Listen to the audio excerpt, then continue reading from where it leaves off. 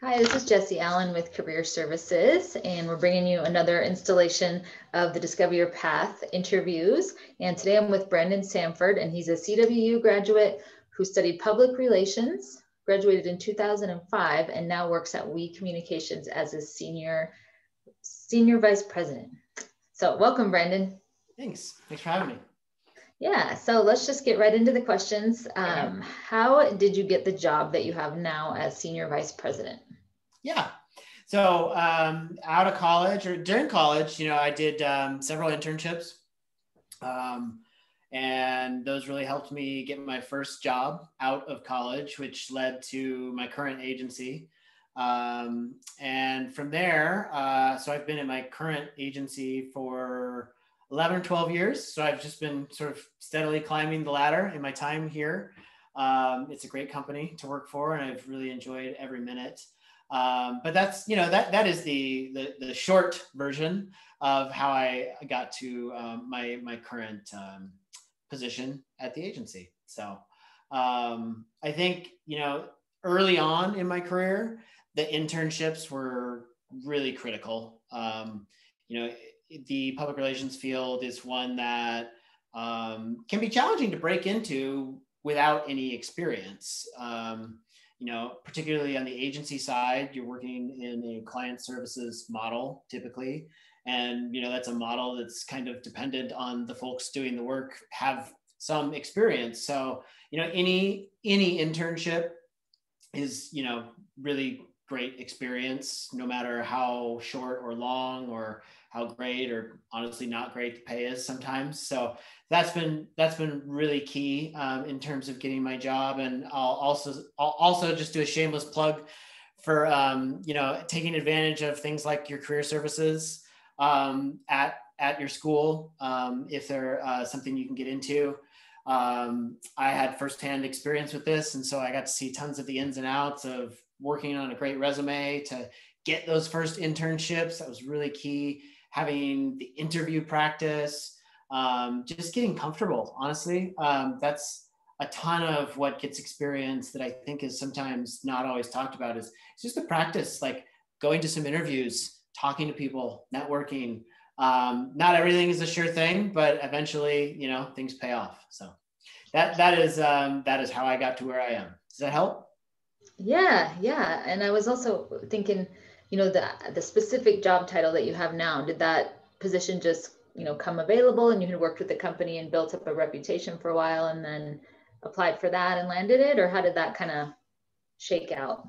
Yeah so uh, at uh, we communications i've um, been promoted a, a, few times. And so you know the big reason that i came to the agency was because i wanted to work on a particular account um, it's the microsoft account um, which is a phenomenal business to work on here. And so, you know, I started in a junior role and I continued to gain experience. And as you continue to gain experience, particularly in the um, agency world, um, you know, the, the next step up the ladder is typically dependent on a few years of experience in the last role and, um, you know, taking on bigger accountabilities and responsibilities on whatever business you may be working on. And so that's been, um, that's been a huge factor um, into uh, my growth, um, into my current title.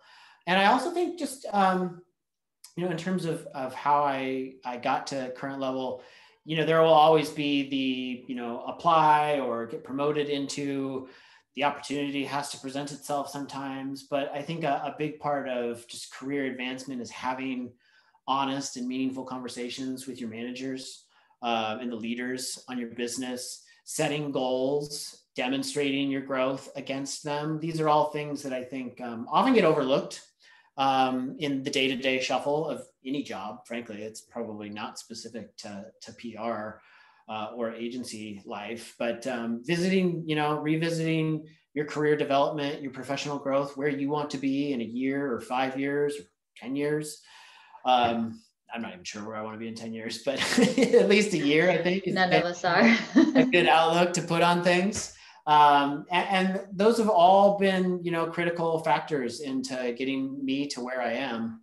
Um, and I think, you know, uh, in terms of my current title, you know, another critical factor is this is really where I wanted to be. And um, I, you know, like my focus has always been doing more with my agency and with the business that I support and that I work on. And, you know, with, with that focus and time and role just tends to come more responsibility. So. Yes. All right. Well, thank you. That's some great advice. Um, I think that people would like to know what you actually do in a typical day. Sure. Um, so uh, my typical day, or you know, genuinely in, anyone on my my team at the agency uh, in terms of PR for a large tech business client is it's a lot of reading. It's a lot of reading and watching. You know, we are focused in and around news cycles with the majority of our time. You know, a big part of my role and the business that I work on is helping clients land stories, drive news cycles, um, shape and think through what the next major moment might look like for the business or the product. Um, so all of those components are typically factors that shape my day. So, you know, typical morning is a lot of email, a lot of reading. Um, you know, I hit all of the the top business publications and top tech publications just to find out what's happening any day of the week. Um, if I'm lucky and there's enough minutes, I'll catch a few uh, minutes of CNBC, and and then I move on. You know, it's like then it's into the meetings, client or my internal team. Uh, a lot of those meetings may be just the typical rhythm of the business stuff. You know, like what's happening this week and next? What are the immediate deliverables that we are driving? What are the challenges that we're needing to think through? Then there's also the client interaction aspect. And so that may be brainstorming with a client. It may be just sitting down and having planning discussions.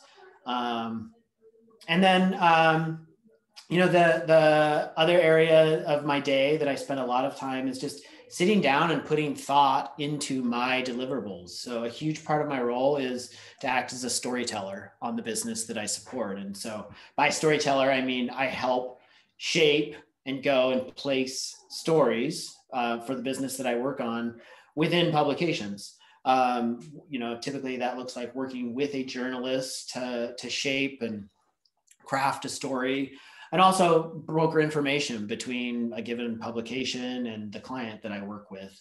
Um, you know, making interviews happen, helping people be prepared for those interviews, fixing things when they don't always go right. Like there's so much that goes into crafting a story. And so that's honestly one of the things that I'm most excited about any day of the week when I get to just sit down and have some genuine focus time on storytelling um, sort of a key reason that I got into public relations because I always wanted to do something with storytelling.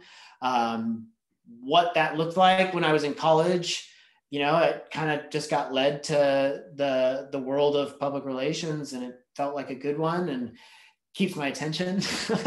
so um, you know, that's that's where I spend a, a good chunk of my time, and then also, you know, like as you spend more time in the field, management is also a, a big part of my role. Um, so helping my team work effectively on the business and help you know people advance in their careers. That's also an area where i spend a lot of time and also is just very rewarding. Like it's a fun thing to help others get further along in their career and to learn and to grow in their current roles. And so um, you know that that could be any average day of the week. There's always big projects um, and unique projects along the way but i think anybody that um, you know, is interested in entering public relations can count on spending a lot of time in the news a lot of time reading and writing um, and a lot of time working directly with you know your business counterparts or your client whether you're in-house or at an agency because um, that's typically where all of your information will come from so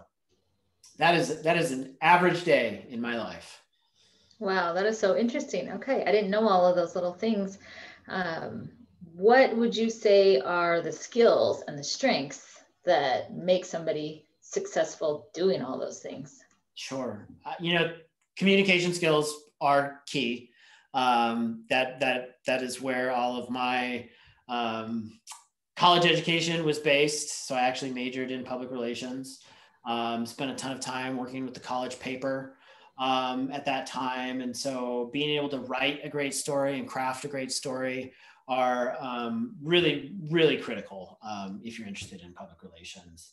Um, you know, as part of that storytelling process, not just to be able to craft a great story, but take in a ton of information and make sense of it and make it um, consumable by others, I think is a, a critical skill and one that I would encourage others to work on. I think some of the best experience that I got in college was writing for the newspaper at Central because uh, it really challenged me to think about how I conduct interviews and find information and write really concisely. Because at the end of the day, that's what I'm responsible for. You know, I work on a tech business. I often, you know, support product launches that are incredibly complex technologies things that are hard, you know, to get your head around at first and distill a story around that that somebody can read in two minutes or less and say, oh yeah, I understand what, what they're doing there.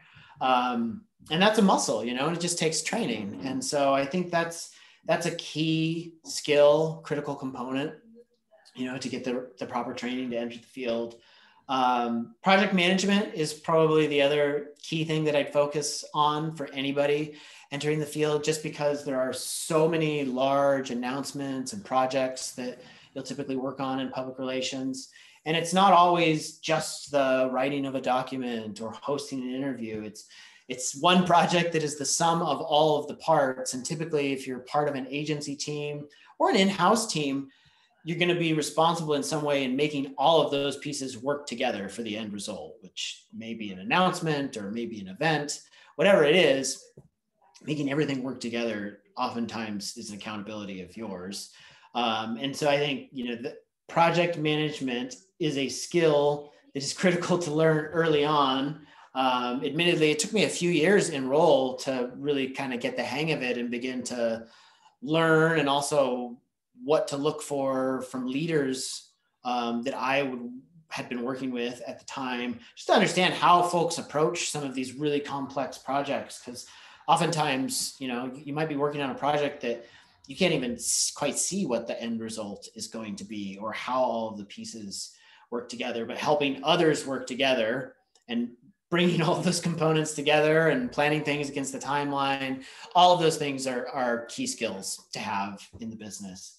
And then I think also just, you know, leadership, personal and team is key. Um, you know, uh, that may come from some business management courses or just working in a field of business, um, you know, as part of an internship or earlier on in your career.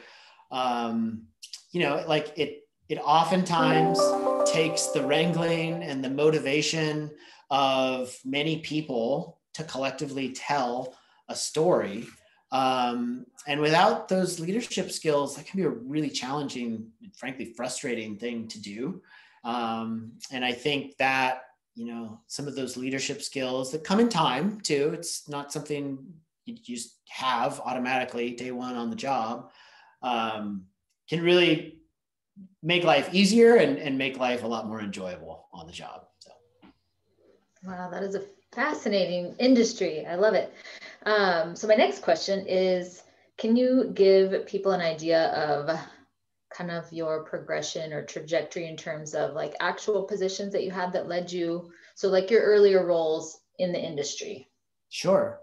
Yeah, I think um, you know it's it's um, it's not something everyone always wants to hear, but uh, experience is experience at the end of the day, and so you know a few years of experience is a few years of experience is what i mean by that so you know i like i said i did um, three or four internships i think sort of in that last year of college and then that first sort of summer after graduation the final internship was the one that got me on to my first agency and so and were any of those unpaid just out of curiosity at least one of them was we could call it unpaid, yes. Okay. Um, and two of them were like stipend work. So it was okay. It was enough to put the gas in the car to get to the job. And I think, you know, particularly in a communications or public relations field. Um, I'm sure the internships have come uh, a little further down the road since my day, but um, you know, it is not it is not the most attractive economic offer at first, and I think that is important for folks to see and to understand because you know I I, I see this a lot um, in the field that you know like there are certainly great opportunities out there immediately out of college that will pay well. But there is also really really phenomenal opportunities that will get experience that lead to even better opportunities and better career growth further down the road. It may not look all that great you know with the paycheck at the end of the day. Um, and i think you know if if you can see past that for a brief period of time it pays off in the end. Um, it is hard don't get me wrong and i recognize that. Um, but i think you know it's it's important because again without the experience it's hard to enter a field like public relations. Without the experience in the field it's hard to advance. Um, and you know with progression also comes things like better pay. Um, more responsibility and typically some longer work days but i think that could probably be said true of most any um, field. Um, but i think you know yes to answer your question yes there will be unpaid opportunities that may be worth much more than you can see at their face value. Um, but a couple internships you know i started at the very junior end of the scale at my first agency, like I said, I started there as an intern and then got hired on. Um, and you know, typically two to three years per title. Um, that's not that's not necessarily always the expectation, but within public relations, on an account, if you're doing the direct account facing work, there's typically you know a, a good swath of titles that include you know um, the, the junior end, you know, people that are just getting their start in the field, the mid range, you know, everywhere from senior account executive to AM, account manager to account director. And then the more senior executive end, when you start to get into the more senior account director titles, the vice presidents, the senior vice presidents. Um, and so that's, you know, that's kind of from start to now, that's, that's, that's been my path. Great, thank you. That gives people an idea of what are some of the job titles involved there. Uh, my last question for you is What advice do you have for students wanting to get into the field of public relations and possibly have a job like yours someday? Yeah. Um, I think, uh, well, not, not to harp on this, but go grab an internship. Like the, the experience, the work portfolio that you can show off in your next interview is worth its weight in gold some days. Um, so take advantage of those opportunities. Take advantage of the services that you might be getting from your school. Um, you know, have others, whether it be an office or a professor, edit your resume, sit down with you, practice um, interviewing. Those are all like critical skills and components that are required just to get into the building sometimes. So take full advantage of that um, have a desire to learn i think is the other thing and don't let go of it. Um, you know i think that every day of my job I'm, I'm learning something whether it be from new people in the business or people that i report to um, or my clients you know like i think that appetite for knowledge and to try new things is really critical. Be yourself you know like that that is i think a key thing too that sometimes gets lost in the shuffle.